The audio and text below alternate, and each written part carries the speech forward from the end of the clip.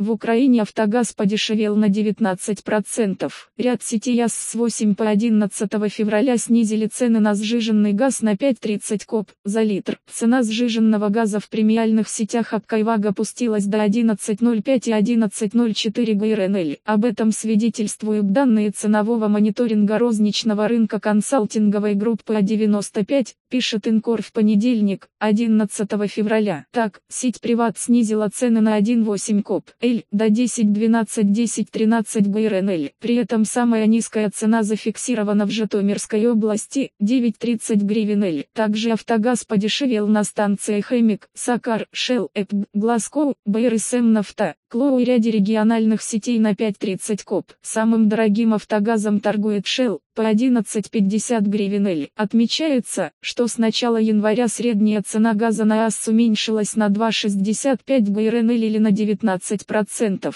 Напомним, в ноябре 2018 года автогаз подорожал до 16,40 ГРНЛ. Уже в декабре средняя цена автогаза приблизилась к 15 гривен. По состоянию на конец января автогаз подешевел почти на 2 гривны. Новости от корреспондент.нет в Telegram. Подписывайтесь на наш канал и https корреспондент.нет по материалам сайта Newsgro.com.